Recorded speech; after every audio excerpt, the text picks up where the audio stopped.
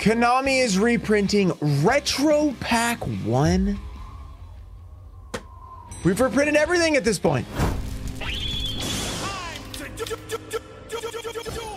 What's up guys? We are back with a uh, non-expected video. Today, we already have a video out, so make sure you guys go check that out. We opened a bunch of vintage packs. A lot of you guys haven't seen it because we posted a Pokemon video yesterday and nobody watched that because, you know, it's Pokemon. I get it. But then the next video usually doesn't do so good. So go check out today's video, which is like literally old school awesome stuff. So don't miss that one. But also sound like I can't talk because I just woke up. So I just woke up to this news, which now I have to post a video about this because, I mean, this is just insane. I mean, after the Light of Destruction thing, I guess I'm not that surprised, but they are supposedly, according to distros, which is where we got the info about Light of Destruction. That's where everybody got the uh, speculation. Oh, they're reprinting Light of Destruction. It was because of a distribution thing. Same thing for this. They're apparently reprinting Retro Pack 1. Retro Pack 1 is a set that is extremely rare. It was never printed, uh, well, it wasn't sent to the US, so it was like a European release or whatever. They later had Retro Pack 2, which had the Blue Eye Shining Dragon and everything, but Retro Pack 1 is so much rarer. I have tried to get a full box of this for many years and I've never been able to do it.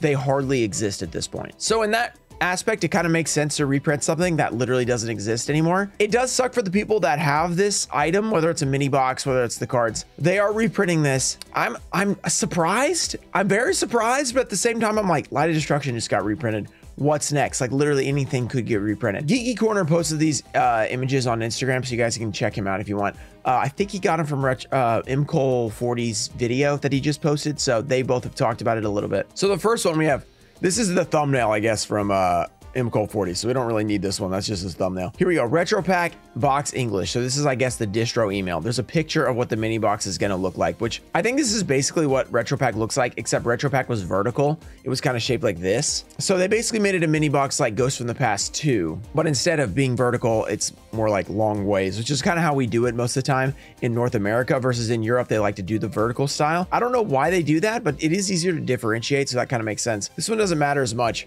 Here we go. Retro Pack The Lost Booster Set was never released in North America. Yeah. Now, as a part of our ongoing anniversary celebration, you can finally hit this missing hole in your collection. I don't know how I feel about that. You can finally hit this missing hole in your collection with the reprint. It's not really the original, but you have the re I guess I guess if you're just collecting cards like one of every card and you don't care about first ed or whatever. There's no first ed in Retro Pack 1, by the way, which is why this is kind of a big deal. If it's reprinting like Light of Destruction, sure, the unlimited gets hurt, whatever. There's no first ed in Retro Pack 1. It's just unlimited. I don't know why they did that. They printed it as an unlimited set, kind of like with Dark Legends and other stuff, probably because it was like a reprint. Did they do, I guess they did that for Dark Revelation. So basically when they started, all the reprint sets with like not new cards, I think they were unlimited. I think Dark Revelation was like that. Dark Beginning was like that. So they didn't have first So that just was their style, I guess, because like these aren't new cards, so they're not first edition. I kind of wish they still did it like that. The only problem is now when you get 16 years later, because this was released back in 2008, you reprint it and now it's you know, you have to figure out the difference between the unlim and the original print, which honestly, okay, we'll, we'll keep going. We'll talk about that in a second. I'm not sure. I'm still not sure how I feel about fill the missing hole. It's like, well, it doesn't really count. It's a reprint.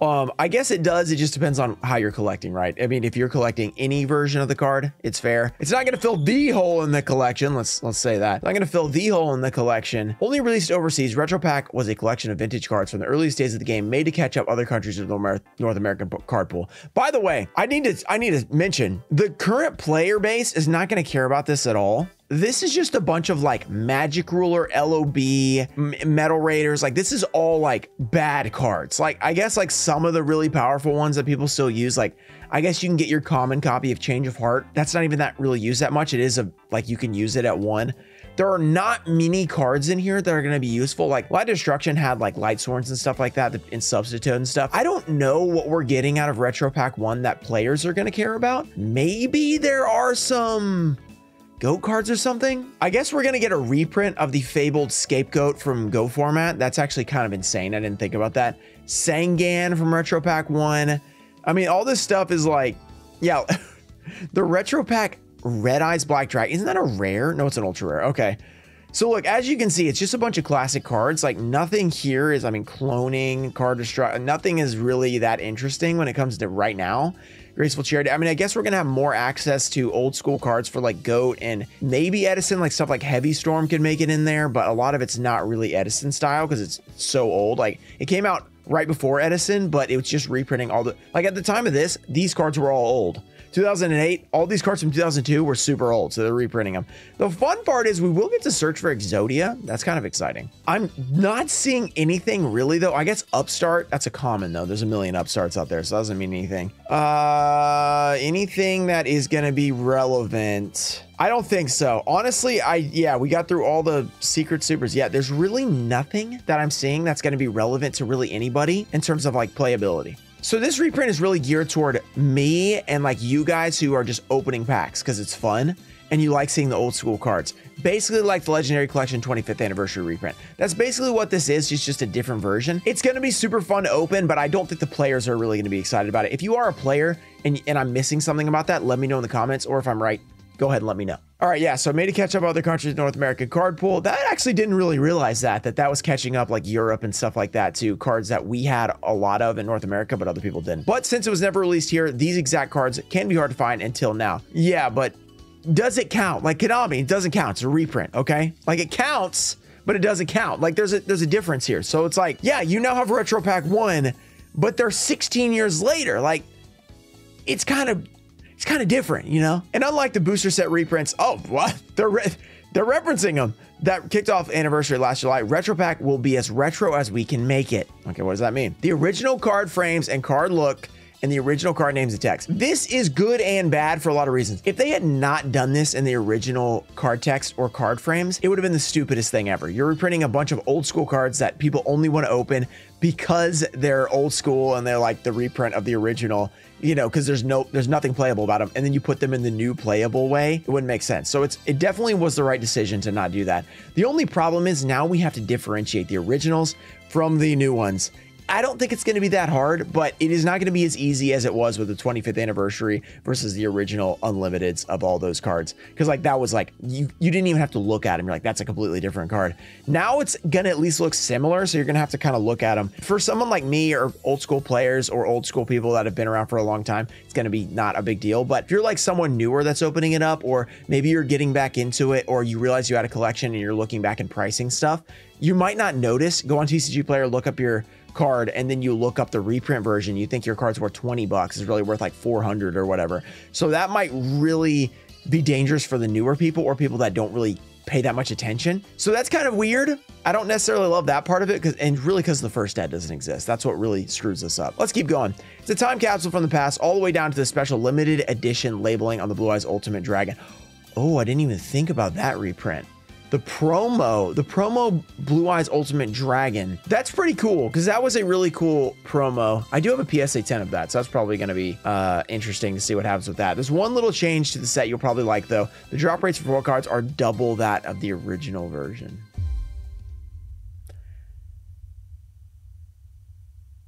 Do we need that? There's no collector rares, there's no ultimate rares, there's no ghost rares, there's nothing high rarity in here. Do we need double drop rates? I feel weird about that. It's kind of what they did with the 25th anniversary. They made it so you get a secret basically every box. Like you can get eight foils. Like it's just weird. Like it's not the same experience as opening old school. You want it to feel like the same experience, but it's easier to pull for twice as easy. Like that's a lot. Like that's saying like instead of getting like six or seven in a booster box in original, you get 12 or 14. Like that's way different. I don't know about that because it's there's already not that many foils in the set. I guess it's I guess I mean if it's just for the opening experience, I don't know. I'm not sure if I like it or not. Will it be more fun? I don't know. I'm not sure. Maybe you're opening up and you want to keep pulling foils and it feels good to do that, but then it's just kind of just becomes I pulled a foil, pulled a foil. I don't know. I'm not sure yet. I'm I'm kind of in the middle on that. Let me know in the comments how do you feel? Do you like doubling pull rates? Or do you think it's kind of weird and it doesn't fit the vibe of this? I'm, I'm leaning toward doesn't fit the vibe of the reprint with the original card text and everything and stuff like that. Plus, it's like old school. I don't know. I'm leaning toward that, but I'm not sure yet. The complete retro pack booster set is 101 cards, 48 commons, 24 rares, 10 supers, 8 ultras, 11 secrets. So the total number of high rarity cards is 29 cards. If you're pulling them twice as often, let's say you get 12 a box, like every other every other pack you're it's gonna take two or three boxes to have the full set, which in a way could be cool. It's like pretty easy to collect the whole set. It doesn't really fit the vibe though of Retro Pack 1. Super rare set, very hard to get the cards. In this set, not rare, very easy to get the cards. So I don't, I don't know how I feel about that. Overall, I, it's it's still even with the light destruction thing. I should have expected more. I mean, I was really expecting Phantom Darkness next, not Retro Pack One. I didn't even think about Retro Pack One. This is weird. This is super weird. Is this going to affect the original prices? Probably. It just depends on. It's just like the original Unlims and current thing. It's not just like it, but it's a little different because the original Unlims also had a first ed so it was like it didn't matter as much because the first eds were safe. Now it's like there's one original print and there's one new print. There's not like eight prints in between. So if you can tell the difference, you're not going to sell your card for the price of a reprint. But a lot of a lot of people won't bother to tell the difference with the reprints and they'll just price them super low. And then it might drag like if, if TCG player doesn't separate these, they'll have like if they just have retro pack one prices and they put them all together, that will drag the price down in theory. But it doesn't really drag the price down because if you know the card is an old school card, you're not going to sell it for that TCG player market price because you know that that's just been dragged down by a bunch of reprints. If they separate them and say Retro Pack 1 reprint in one, and you can list in that one, and then you have Retro Pack 1 just normal, then the price will probably stay around the same. And I'm really only talking about TCG player, but that can really affect things because with the originals versus the Unlim 25th anniversary, so for a long time in 2017 on TCG player, you would have the original Unlims, the 2010 reprints, 2017 reprints, all in the same like section. So if you're a seller, you'd list them all in the same spot. And you really couldn't tell the difference. But in the 25th anniversary, they made a whole separate listing. So if you're listing like Heavy Storm, it would say Heavy Storm 25th anniversary. And you just clicked on that. That made those their whole own thing. And then that kept the kind of the price the same over here because these cards were completely different. So if they do that, it's really going to be two different things if they put them together, TCG player is going to be an absolute mess, and you're not going to know what you're getting when you buy a Retro Pack 1. You might get an original, you might not. Most likely, everybody who has an original up will just like put their price super high, or they'll remove it and just post it on eBay or something, because then they can say original, or maybe they'll put it on there with original and pictures and stuff. It's just going to be interesting because the people that don't know the difference and maybe come back into the game and have Retro Pack 1 cards, they might get fooled by that and see like, oh, it's $20 and it's really worth more, and they might end up selling it for super cheap. So uh, that sucks for them, but it could be an opportunity for people like they see like a super cheap price, they just buy it ended up getting a steal on it because it's an original. So it's kind of weird. It's overall just a very strange situation. I'm excited because this is going to be some good openings for me. Like Light Destruction is going to be awesome. This is going to be super fun uh, content and stuff like that. And I know people are going to enjoy opening Retro Pack 1. I just don't know how I feel about them just walking through and just reprinting a bunch of stuff because it feels like at this point, nothing is safe in Yu-Gi-Oh! Because, I mean, Starlights are not safe, obviously. We've reprinted a ton of those into quarter century secret rares. So basically nothing new is safe. Now we're hitting stuff like Light Destruction, hitting stuff like Retro Pack 1. We're going all the way back to 2008. We've already reprinted a bunch of the old sets. I mean, I figure at some point we're gonna get Phantom Darkness, we're gonna get Magician's Force at this point. I thought those were impossible, but now with what we're seeing here, I really expect anything to happen because 25th anniversary is apparently gonna last until the 30th anniversary. That's what people were saying last time when I was complaining about this. Like, it's probably just gonna last to the 30th anniversary like they did in the OCG from 20 to 25 or whatever it was. So it's likely we just keep getting reprints. The good side of this is it's gonna drive a lot of excitement. I mean, having all these new reprints and because it's just news. I mean, news for Yu-Gi-Oh! is great cool stuff coming out. I just don't know how relevant this reprint is. It's definitely for the old school people, so that's cool. I appreciate that. Uh, I think the players are gonna be like, why? We don't need this. Like, give us Trident Dragion. Like, like wh where is it? Why are we getting Retro Pack 1 instead? You know, even though Trident Dragion we did see is in a 10, but four months from now. So they weren't exactly excited about that. So that's about that's about all I have to say. I'm sure there's a lot more you could say. Just say it in the comments. I'm always conflicted on these on these news. Like, should I be excited or should I not? Well, excitement is really not the thing. I'm excited about it. Should I be happy about it? Is the question. I'm gonna be excited whether I'm happy or not. To be honest, it's kind of a weird thing. So yeah, uh, make sure if you have missed today's video, go check it out. Or the other today's video. We have a massive old school opening which didn't have any retro pack involved. We also have whatnot tonight at 5 p.m. So if you're seeing this before before 5 p.m. Central or at 5 p.m. Central or maybe a little bit after. We're opening First Ed Magic Ruler.